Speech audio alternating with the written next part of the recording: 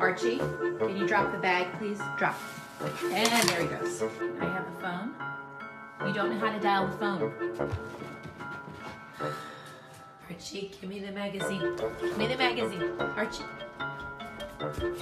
Archie. He's not very good at retrieving. He just takes it to another level.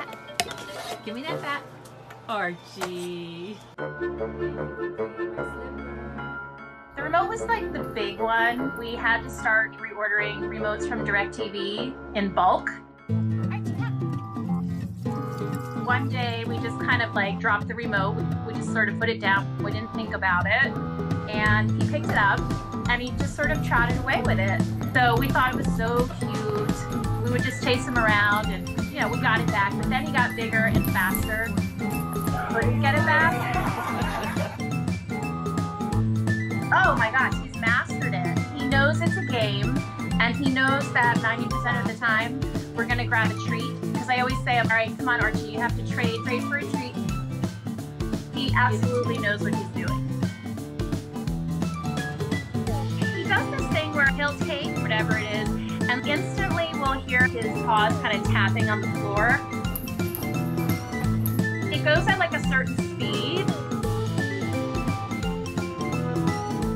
He's always looking to something. And he's very sweet like a five-year-old would be, but he's also looking for trouble constantly. Good boy.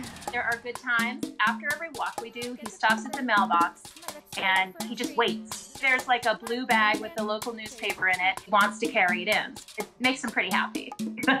Archie, you're a good boy.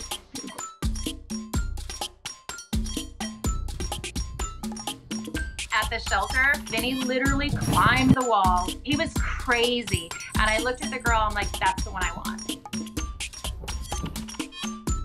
I brought home Vinny and he hasn't disappointed. If I don't know where he is in the house, if I just yell his name a few times, Vinny?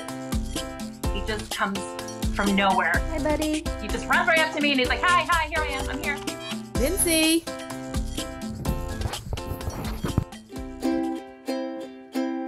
Archie's already like laying down. I'll turn around and I'll be like, oh my God. Then he comes over and he, you know, just rubs on him and flips over. Yeah, I think they really do dig each other.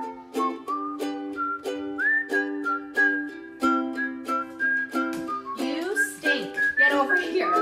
Sometimes I feel frustrated, but then I remember like he gives such unconditional love that you just you can't get mad at him. There's worse things in the world. Definitely brought a lot of joy into our lives, for sure,